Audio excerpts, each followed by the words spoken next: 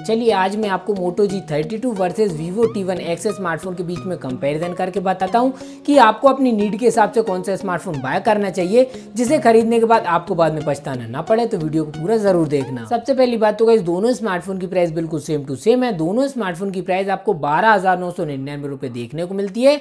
Motto G thirty to में आपको चार जीबी की रैम चौसठ जीबी की स्टोरेज देखने को मिलेगी। But Vivo T one X में आपको चार जीबी की रैम के साथ में एक सौ अट्ठाईस जीबी की स्टोरेज देखने को मिलती है। इसी प्राइस के साथ में तो ये वीवो की तरफ़ से एक अपग्रेड हो जाता है। दोनों स्मार्टफ़ोन की अगर मैं डिस्प्ले की बात करूँ तो मोटो जी थर्टी में आपको 6.55 इंचेस की full H plus L display देखने को मिलेगी, जिसमें आपको 98 का रिफ्रेश रेट मिल जाता है और इसमें आपको 89.8 परसेंट का स्क्रीन टू बॉडी रेशियो देखने को मिलेगा।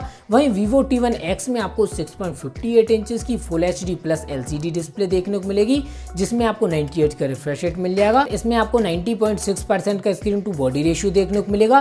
मोटरोला में आपको पंचोल कटआउट मिल जाता है वीवो में आपको नोच देखने को मिलेगी। गैस डिस्प्ले की क्वालिटी आपको वीवो टी वन एक्स में अच्छी देखने को मिलेगी। बट जो डिस्प्ले का फ्रंट साइज़ है ना, वो देखने में आपको मोटरोला में ज़्यादा बेटर लगेगा बिकॉज़ उसमें पंचोल कटआउट दिया गया है। दोनों स्मार्टफ़ोन की अगर कैमराज की बात की जाए तो मोटरोला में आपको 50 मेगापिक्सल का ट्रिपल रेयर कैमरा सेटअप मिल जाएगा, जिसमें आपको 50 मेगापिक्सल का मिलेगा प्राइमरी कैमरा 8 मेगापिक्सल का अल्ट्रा वाइड सेंसर और 2 मेगापिक्सल का माइक्रो सेंसर देखने को मिलेगा। वहीं बात करूँ वीवो टी के रेयर कैमरा की तो इसमें आपको 50 मेगापिक्सल का डुअल रेयर कैमरा सेटअप मिलेगा, जिसमें आपको 50 मेगापिक्सल का मिलेगा प्राइमरी कैमरा 2 मेगापिक्सल के इसमें आपको डेप्थ सेंसर मिल जाता है।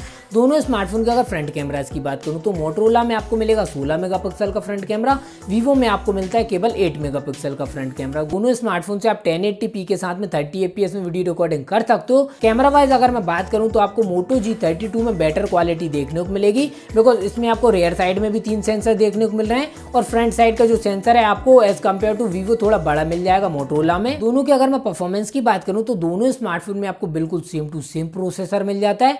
दोनों में ही आपको ऑक्टाकोर का क्वालकॉम स्नैपड्रैगन सिक्स का प्रोसेसर देखने को मिलेगा। जिसमें आपको 6 एन एम आर्किटेक्चर वाली चिपसेट देखने को मिलती है।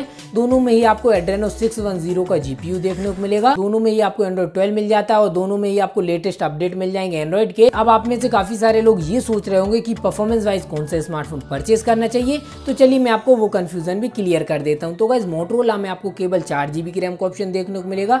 बट वीवो में आपको चार जीबी की रैम और छह जीबी की रैम का ऑप्शन मिलता है। और यहाँ पे आपको कुछ प्लस पॉइंट भी मिल जाते हैं। वो क्या है? चलिए मैं आपको बताता हूँ।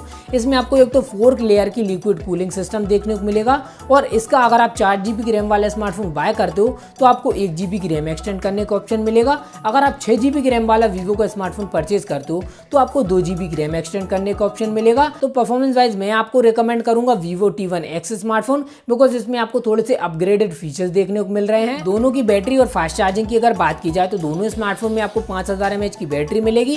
मोटरोला में आपको तैतीस वोट की फास्ट चार्जिंग मिलेगी। वीवो में आपको 18 वोट की फास्ट चार्जिंग मिलेगी तो फास्ट चार्जिंग वाइज मोटरोला बेनर रहेगा बट बैटरी आपको दोनों में सेम मिलेगी। और दोनों ही स्मार्टफ़ोन में आपको 3.5 पॉइंट का ऑडियो जैक भी मिल जाएगा। अगर आप वीडियो कितने ध्यान से देख रहे हो वीडियो पसंद आ रही तो वीडियो को लाइक और चैनल को सब्सक्राइब भी कर लो। तो दोनों स्मार्टफ़ोन का क्लियरली कंपेरिजन करके मैंने आपको बता दिया। अगर आपको कैमरा वाइज स्मार्टफ़ोन खरीदना है तो आप मोटरोला ले लेना। अगर आपको परफॉर्मेंस अच्छी चाहिए तो आप वीवो ले लेना। डिपेंड आप पे करता है, आपको कौन सा स्मार्टफ़ोन लेना है। जो कुछ था मैंने आपको सारा कुछ बता दिया। वीडियो पसंद आई लाइक करके ज़रूर जाना। और इसी तरह की और वीडियोस देखना चाहते हो, चैनल को सब्सक्राइब भी कर लेना, नीचे लाल वाला बटन दिखाई दे रहा होगा उसको प्रेस कर लेना।